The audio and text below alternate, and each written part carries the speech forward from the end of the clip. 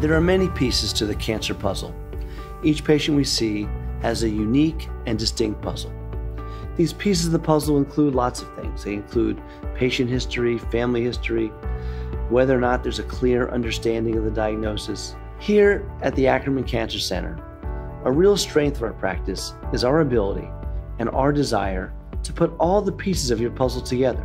We bring the whole picture together, and for you, this picture will be clear and will be in focus. Our board certified oncologists and our oncology trained support staff, including our physicists, our nurses, our social workers, and our dietitians, are all here to put this puzzle together. We all work towards your cancer treatment plan to put you on the path to wellness. At the Ackerman Cancer Center, we're committed to taking patients from diagnosis to survivorship. We are here to provide high quality, state of the art, focused radiation treatment for our cancer patients.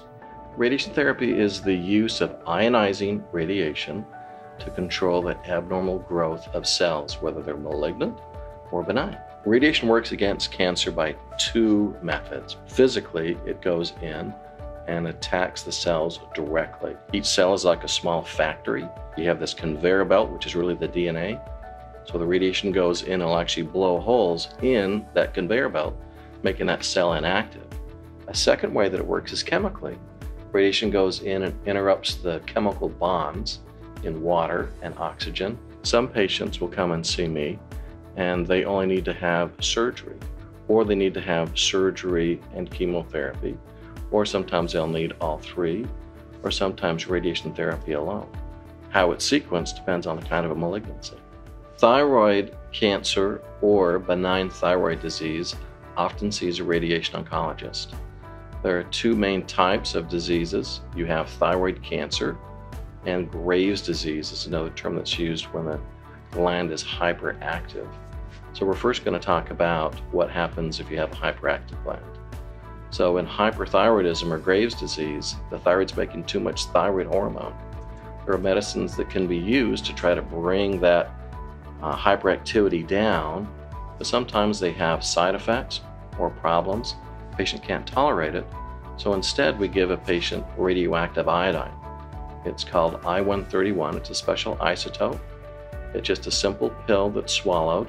Your body cannot tell the difference between normal iodine, which you consume daily in iodized salt, seafood, and other things, or a radiation pill that's radioactive iodine.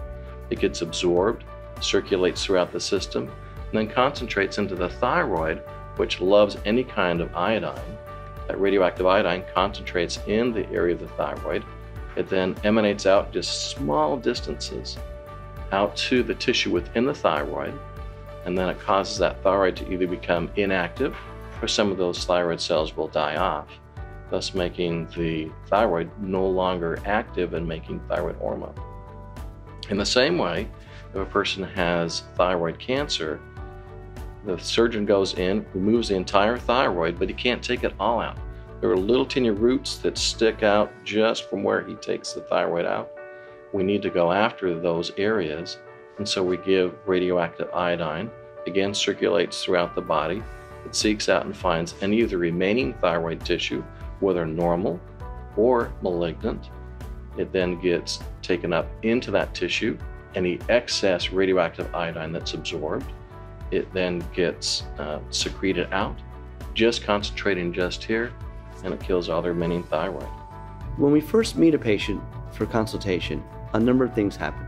First, the patient and their family meets with one of our oncology certified nurses. The nurse finds out about the patient's past medical history, medications, and the nurse also provides some education about the process of cancer treatment. The patient and their family then meet with one of our physicians.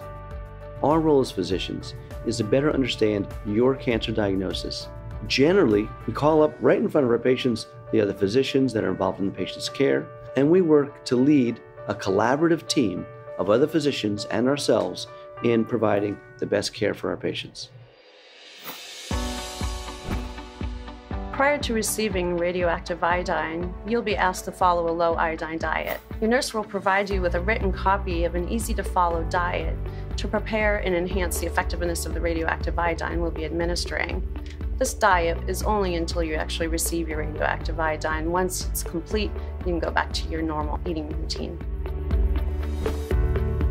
For the radioactive iodine therapy, we take you into a room and sit you down. The physician comes in and he gives you the pill, and the only real instruction is, is that we ask that you don't put it in your hand to then swallow it. You just tip it straight from the pill container into your mouth. And you can drink it with water. Something I always tell patients that it's the size of a Tylenol capsule, so it's not very large. When you've taken your iodine 131, there's three basic rules for radiation safety, and that's time, distance, and shielding. You want to minimize the amount of time that you're spending with any of your family members or people, the general public. You want to maximize the distance from your family members. And for shielding, it'd be best if you can stay in a different room than your family members. The walls will act as a natural shielding um, from the other patients. It's extremely important for you to follow these precautions because we want to minimize the amount of radiation that your family members are going to get exposed to. So by following these instructions, we're going to minimize the amount of dose that they're going to receive from you. Side effects of radioactive iodine depend on whether you're getting a lower dose or a higher dose. The dose that will be recommended for you depends on your diagnosis. Patients receiving a high dose of radioactive iodine may experience a sore throat, and some people report some nausea. Side effects from a lower dose are fairly mild. Some people experience a mild sore throat that's easily managed with over-the-counter pain medications, and you may experience some mild tenderness in the salivary glands. If this should happen, please report it to your doctor and we'll prescribe a medication if necessary. Here at the Ackerman Cancer Center, we have a whole host of support services for our patients. It really is one of the strengths of our practice.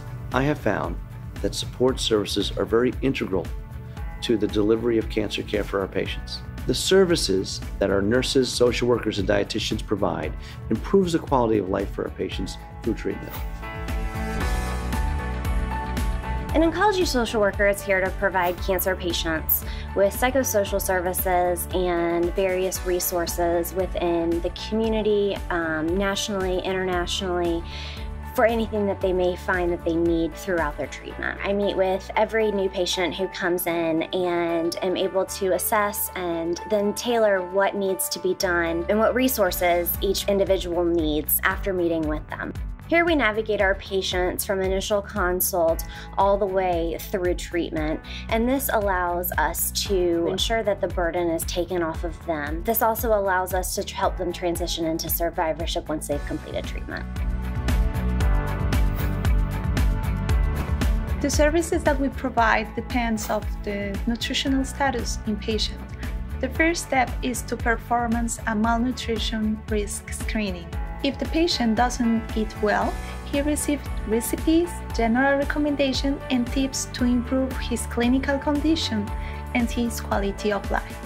I am available before, during, and after treatment to help patient and family to cope with radiation therapy and the secondary effects.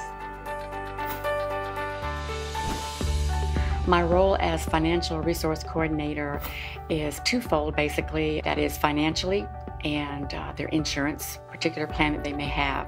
It is very overwhelming because the word copay, the word deductible, the word out of pocket is very confusing and complex to some. So I can reassure them no matter what, we will work through this with you.